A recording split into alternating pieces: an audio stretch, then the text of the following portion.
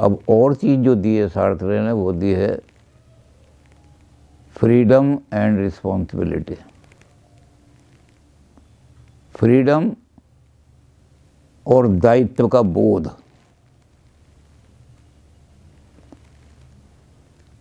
सार्थक कहते हैं कि फ्रीडम तो आदमी का एसेंस है। इसके लिए भी बड़ा शब्द उन्होंने प्रयोग किया है man is condemned to be free ये आदमी की नीयत है उसका भाग्य है आदमी का फ्री होना। वो जिस चीज़ को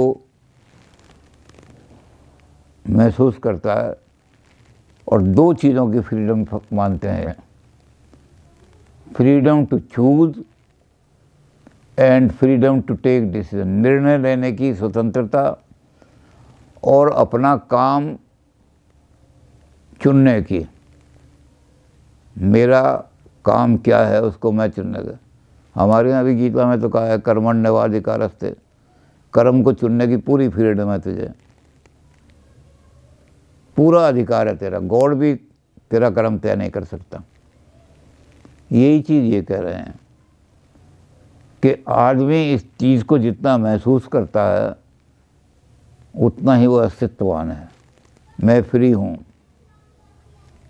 मेरी चीज़ को कोई, मैं किसी से सलाह तो ले सकता हूँ, लेकिन मुझे इस पर फ्राइड, इस पर इन्होंने बहुत एग्ज़ाम्पल दिए हैं। एक लड़का आया, क्योंकि ये टीचिंग का काम करते रहे ना पहले युद्ध युद्ध से पहले बार तो एक लड़का इनके पास आया कि, सर, इधर तो युद्ध चल रहा है और उधर मेरी माँ बूढ़ी बहुत ज़्यादा बीमार है। देश से बार बार ये आ रहा है कि हर युवक को देश की रक्षा के लिए आना चाहिए। ये अनाउंस हो रहा है तो सर मैं क्या करूँ? तो सार्थर ने कहा कि you have exercise your freedom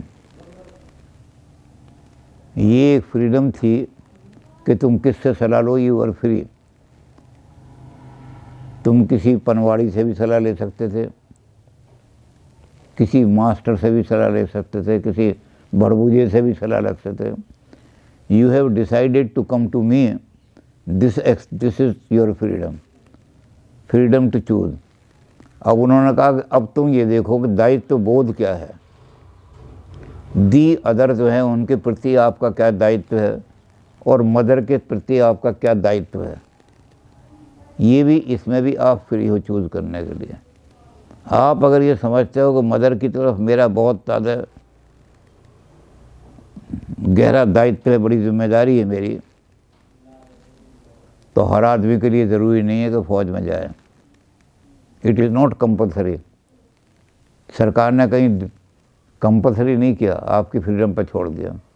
अगर सरकार कंपलसरी कर दे कि 18 साल का हर आदमी फ़ौज में जाएगा, तब तो आप मजबूर हो।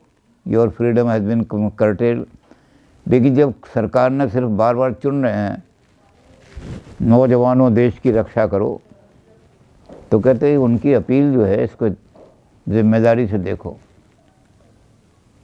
ऐसे बहुत सारे एग्ज़ाम्पल दिए हैं आप जब पढ़ेंगे इसको सार्त्र की किताब को बीइंग ए नथिंगनेस में। बीइंग ए नथिंगनेस बड़ी इंपॉर्टेंट किताब है।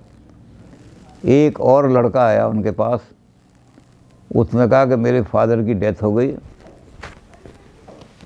घर में कुछ छोड़ करके नहीं गए फादर बहुत पैसा वैसा तो मैं अपनी पढ़ाई छोड़ करके अपने बच्चों को और अपनी माँ को पालने के लिए मैं अपनी पढ़ाई छोड़ करके एक छोटी मोटी नौकरी ज्वाइन कर रहा हूँ। मैंने कहा कि तुम्हारे पास बहुत सारे विकल्प हैं। उन विकल्पों को अच्छी तरह देखो। जो विकल्प तुम्हारे काम के नहीं है, उनको निषेध करने की शक्ति भी तुम में है। तुम्हारे पास क्या विकल्प हैं? एक विकल्प तो है कि घर में अभाव है, कुछ भी फादर छोड़ के नहीं गए, कर्जा छोड़ गए, और मेरे ऊपर इतना बोझ आ पड़ा तो मैं जाके सुइसाइड कर लूँ। एक विकल्प ये है कि जो छोटे भाई वगैरह उनकी कोई ज़िम्मेदारी नहीं, उन्हें मैं धक्के देर मार कर निकाल दूँ। गो फॉर बैगिंग जाओ, भीख मांगो। एक विकल्प ये है कि मैं अपनी माँ को किसी ऐसे होम में छोड़ जाऊँ जहाँ ओल्ड एज होम है, वहाँ छोड़ जाऊँ ये भी एक विकल्प है। आफ्टर कैलकुलेटिंग ऑल दीज विकल्प निर्णय आपने लेना है। उसने कहा कि दो चीज़ें हैं जो आदमी को, के एसेंस में हैं। फुल फ्रीडम आदमी को, किन चीज़ों की? टू टेक डिसीज़न कहते यू हैव कम हियर मेरे पास तुम आए हो। मैं तुम्हें एडवाइस दे सकता हूँ, निर्णय नहीं कर सकता मैं। मैं और भी विकल्प बता सकता हूँ क्या क्या विकल्प हैं। उन विकल्प में से चूज़ करो और जो विकल्प तुम्हारे काम के नहीं है, उनका निषेध करो। ये भी शक्ति है। ढिलमिल मत रहो। ये मेरे काम का नहीं है, एकदम छोड़ दो। संशय आत्म विनश्यते गीता में कहा है, जो संशय में पड़े रहते हैं कि ये करूँगे ये करूँगे, उनका नाश हो जाता है। टेक डिसीज़न लेकिन take decision after calculating all तो कहते, मैंने सारे विकल्प तुम्हें बता दिए, अब ये डिसीज़न लेना तुम्हारा काम है। ऐसे बहुत सारे केस जो हैं, इनके सामने आए। एक औरत इनके पास आई, उसने कहा कि मुझे पिस्टल दिखा करके एक आदमी ने मेरी इज़्ज़त लूट ली। अब मुझे क्या करना चाहिए? मैं सुइसाइड करूँ, मर जाऊँ या क्या करूँ? इन्होंने कहा कि आपके पास दो विकल्प थे। ज़िंदगी और इज़्ज़त इन दो विकल्पों से चुनना था। आपने अपनी फ्रीडम क्यों नहीं एक्सरसाइज की? एज ए मैन आदमी का तो लक्षण ही है freedom. Freedom to choose and freedom to take decision और कहते तुमने जब अपनी फ्रीडम एक्सरसाइज की होगी तो तुमने कहा कि life is more valuable than इज़्ज़त। तुमने उसके हिसाब से ले लिया, तुम्हें लाइफ मिल गई, ठीक है? अब इसमें परेशान होने की क्या ज़रूरत है? अगर तुम ये तय करते हैं कि लाइफ इतनी इम्पोर्टेंट नहीं है, इज़्ज़त इम्पोर्टेंट है, तब ये हो सकता था कि भाई उन्होंने इज़्ज़त लूट ली तो मैं जाकर सुइसाइड कर लूँ, मर जाऊँ। या वहाँ उनकी पिस्टल के सामने आ जाते कि पिस्टल मार दे इज़्ज़त ने। तो कहते डिसीज़न तो तुमने लिया है। हर डिसीज़न की तुम्हारी ज़िम्मेदारी है। तो ऐसी बहुत सारी एग्ज़ाम्पलें इन्होंने दी हैं। और उसमें कहा है कि इस डिसीज़न में सबसे बड़ी चीज़ है, कोई यूनिवर्सल लॉ नहीं बना साहब ये युद्ध हो रहा है तो सारे आदमियों को युद्ध में जाना पड़ेगा, माँ बूढ़ी मर रही है। उन्होंने कहा, वहाँ आपको देखना पड़ेगा, दायित्व बोध। मेरे ऊपर किस चीज़ की कितनी ज़िम्मेदारी है? दी अदर की अगर मेरे ऊपर ज़्यादा ज़िम्मेदारी है, दी अदर का मतलब समाज और देश की। तो एक मदर क्या दस मदर भी हों, ठोकर मार के मर जाएगी, मर जाना बुढ़िया। लेकिन देश मेरा नहीं हारना चाहिए। और अगर आपका मदर की तरफ़ कर्तव्य बोध आप समझते हो कि मैं अगर लड़ाई में चला गया तो इसको कोई पानी पिलाने वाला भी नहीं होगा, इस बुढ़िया को कोई दवाई देने वाला भी नहीं तो मदर के साथ। तो कर्तव्य बोध जो है अपना, यही आदमी को आदमी बनाता है। अगर आप आदमी हो तो feel this thing responsibility towards दो ही चीज़ें हैं रिस्पॉन्सिबिलिटी टूवर्ड्स अदर्स और रिस्पॉन्सिबिलिटी और उसमें कहते हैं इसमें एक रिस्पॉन्सिबिलिटी टूवर्ड्स आवर सेल्फ भी शामिल है। मैं अगर देवता, मैं अगर लोगों की समाज सेवा करने जाता हूँ और बर्फ़ पड़ रही है तो अगले दिन मैं बीमार होकर अस्पताल में चला जाऊँगा, क्या सेवा करी मैंने? एक कल्पना से मैंने कि, मैं लोगों की सेवा करना चाहता हूँ। लेकिन दायित्व बोध अपनी तरफ़ ही है मेरा। मुझे देखना है कि मैं बीमार नहीं होना चाहिए। अगर मैं बीमार हो गया तो किसकी माँ ना माँ की सेवा कर सकता हूँ, ना समाज की। तो इस तरह से इन्होंने सारे दायित्व बोध की बहुत सारी एग्जाम्पलें दी हैं कि आपको ज़िम्मेदारी का एहसास और ज़िम्मेदारी के सामने कल्पना कौन कौन से विकल्प हो सकते हैं, उनको पूरी तरह देख करके जल्दी में कोई फैसला मत करो। ये विकल्प भी हो सकता है, ये भी हो सकता है, ये भी हो सकता है। किसी से सलाह भी अगर लोगे, उसने कहा, मैं तुम्हें सलाह दे सकता हूँ। I can not impose my decision on you मैं आपके पर साठ से जितने लड़के आए कोई कोई समस्या उन्होंने कहा, मैं तुम्हें सलाह सिर्फ़ सलाह दे सकता हूँ। कहते ये भी तुम्हारा अपना डिसीज़न है कि तुम सलाह लेने मेरे पास आए। फ्रीडम टू टेक डिसीज़न तुम किसी गलत आदमी के पास भी जा सकते थे। तो तुम मेरे पास आए तो इसलिए मैं तुम्हें बता रहा हूँ कि दायित्व बोध तुम्हारा है। अपना बोध समझो कि ज़िम्मेदारी मेरी किसकी तरफ़ जितनी ज़्यादा है। और तब जाके फैसला लो, इसमें कोई यूनिवर्सल लॉ नहीं बन सकता। आपको खुद अपना फैसला करना पड़ेगा। लेकिन दो चीज़ें आप सेक्रीफाइस नहीं कर सकते। यू आर कंडेम्ड टू अगर मैन हो आप तो दो चीज़ें। Freedom to choose your action कोई आदमी आप, आपके ऊपर एक्शन लादना चाहे तो जूता मारो उसके। I am free to choose my action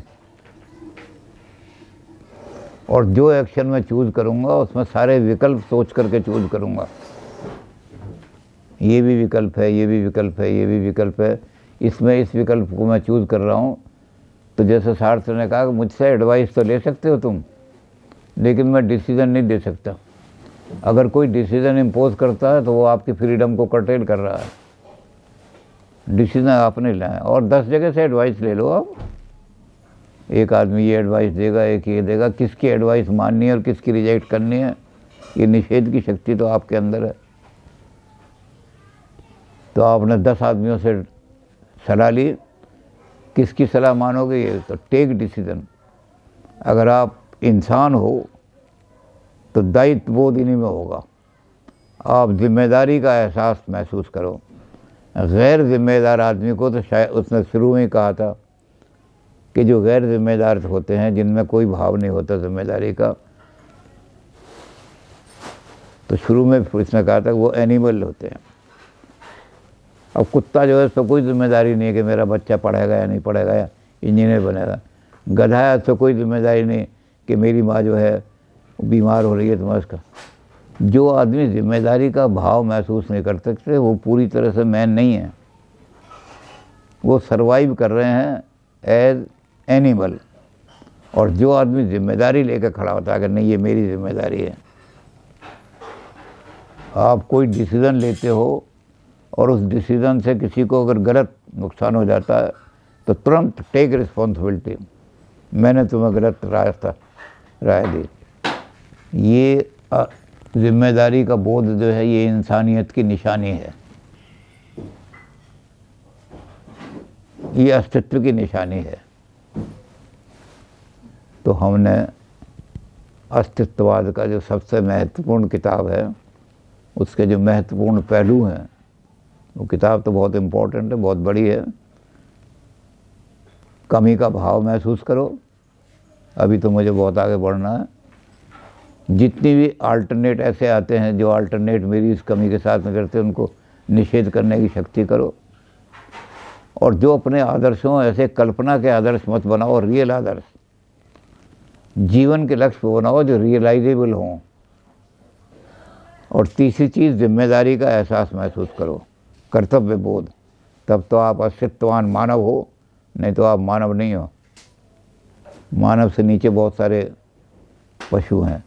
आप भी शेर भी हो जाओगे, तब भी एनिमल ही रहोगे। शेर कोई महसूस शेर कभी कोई ज़िम्मेदारी महसूस नहीं करता।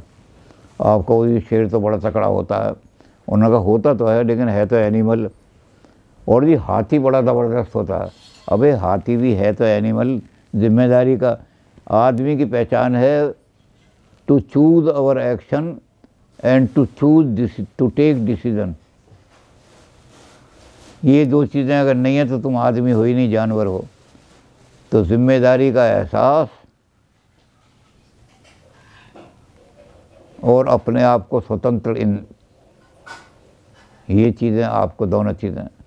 तो हमने सारी इतनी बड़ी किताब जो है इनकी बीइंग एंड नथिंगनेस जिसको हम करते तो कई दिन लग जाते तो इसलिए हमने आज छोटा करके उसको कर दिया। अब अंतिम चीज़ कल देख लेंगे और फिर इनको विदा कर देंगे।